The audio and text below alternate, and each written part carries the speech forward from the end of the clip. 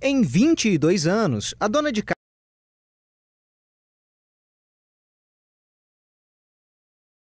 2000, o preço médio no varejo era R$ 1,13.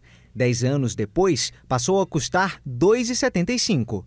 Só nos primeiros quatro meses deste ano foram 20% de aumento. E hoje tem supermercado que vende a R$ 11,49. Para a dona Lucimar Torres, mal dá para comprar uma garrafa por semana. Já tem que vir conferindo aqui na calculadora o que a gente vai poder levar, o que não pode, né? Os preços exorbitantes lá em cima. E o limite para o óleo de cozinha é um só? Um só.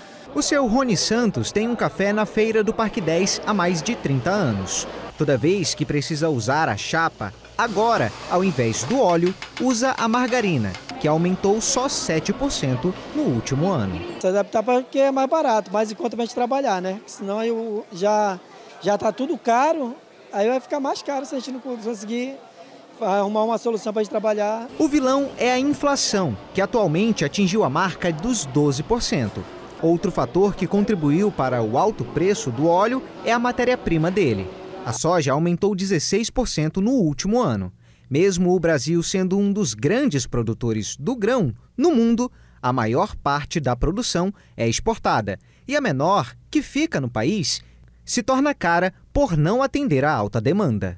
A soja é um commodity, né? Então, para o Brasil, como é o maior produtor e exportador de soja do mundo, os, os produtores preferem vender em dólar do que vender em real.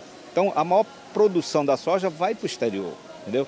O mercado da China é o nosso maior consumidor, na verdade. Além da margarina, a banha de porco também pode ser usada para fritar os alimentos. Outra alternativa é reaproveitar o óleo de cozinha, mas é preciso ter atenção. Se a cor dele estiver muito escura ou a consistência pastosa, o uso pode trazer riscos à saúde. E quanto à doença mais frequente que se tem é justamente a acidez estomacal que no caso vem pelas úlceras ou pela gastrite.